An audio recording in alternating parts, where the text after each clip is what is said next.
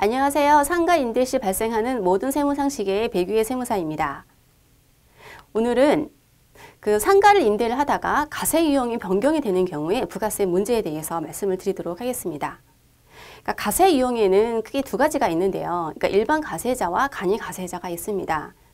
간이 가세자라는 것은 직전 연도에 매출의 금액이 4,800만 원 이하인 경우, 아, 미만인 경우에 간이 가세자가 가능하신데요. 근데 만약에 자기가 일반 가세자였다가 어, 직전 연도에 매출의 금액이 4,800만 원 미만이 되었어요.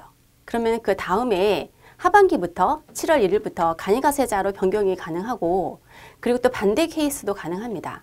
그러니까 그런 경우에 일반 가세자와 간이가세자는 그 신고를 해야 되는 횟수와 기간이 다음과 같이 차이가 있습니다.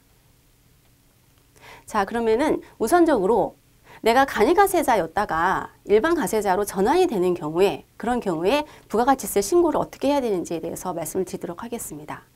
간이가세자인 경우에는 자기가 그 매입세 공제를 받을 때 일반 가세자에 비해서 매입세 공제를 업종에 따라서 5%에서 30%밖에 공제를 받을 수가 없으세요.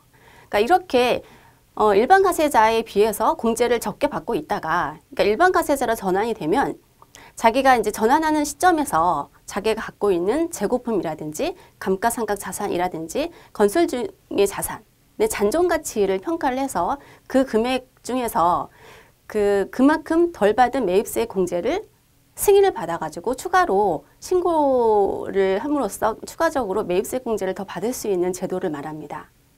그러니까 그러기 위해서는 어, 가세로 전환이 되는 그 시점에 존재하고 있는 재고 금액 등에 대해서 신고를 하셔야 되고요.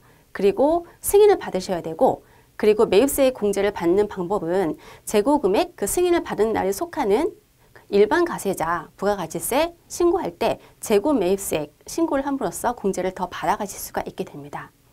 그러면 이와는 반대로 내가 일반 가세자였다가 간이 가세자로 바뀌는 경우가 있을 수가 있겠죠. 그럼 그 경우에는 반대로 생각을 하시면 되는데요. 일반 가세자가 됐다가 아, 이런 경우가 있으면 안 되겠지만 가, 매출액이 감소를 하셔가지고 4,800만 원 미만이 되셨어요. 그러면 그 다음에 7월 1일부터 간이가세자로 전환이 되시는데요.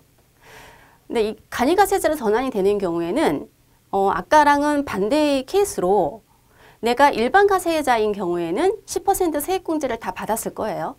근데 간이가세자로 바뀌게 되면은 간이가세자는 업종별로 5%에서 30%밖에 매입세 공제를 받을 수가 없는데 기존에 10%를 전부 다 받으셨기 때문에 그 차익에 해당하는 금액을 재고 납부 세액으로 납부를 하셔야 돼요. 근데 간이가세자가 무조건 좋은 건 아니에요. 그러니까 부동산 임대업 사업자 같은 경우에는 자기가 갖고 있는 그 상가 금액, 매입세 공제를 받은 금액이 워낙 크기 때문에 그 금액을 간이가세자로 전환이 됨으로써 납부해야 할 세액이 좀 커지게 됨으로써 부담 금액이 좀 높아지게 되는데요. 그러니까 그런 경우에는 간이가세를 포기를 하실 수가 있습니다. 그러니까 그렇게 간이가세를 포기를 하는 경우에는 3년간은 간이가세를 적용을 하실 수가 없습니다.